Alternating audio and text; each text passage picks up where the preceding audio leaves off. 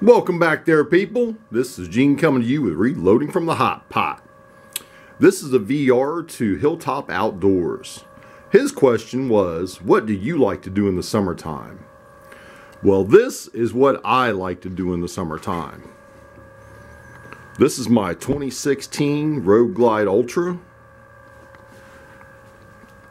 Set up for the long haul. Got some butt beads there for me and the wife.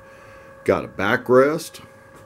Little pouch on the back so she can put her cell phone and her other items in there. We got a full touchscreen infotainment center. Right now we got some No Man's Friend from Mike Ness cheating at solitaire on the on the radio there. Got a cell phone holder.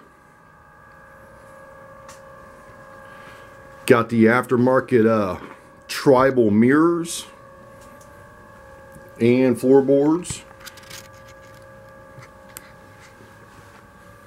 Little pouches for a first aid kit and other accessories. I even put on here, I put some highway pegs for the wife that are fully adjustable. I like to have her ride in some comfort too. Out back here, got some nice LED lights. Bright, bright, bright. See me, see me. Here we got a Zef sticker. Zef is South African for live your own lifestyle.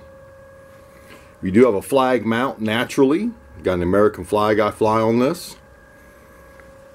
This is what I like to do in the summertime. I like to get out, hit the road, get some miles on it. It's already got 11,870 miles on it. I do ride it. I take full advantage of all the summertime I can get. The wife's got a bike over here too. She doesn't ride it very much, but it's hers. Excuse the mess in the garage, but it is the winter time and well, we come out and get something, we just get it and we get back out. But that's what I like to do hilltop outdoors. So I hope you enjoyed this VR. And remember to always keep blowing the smoke.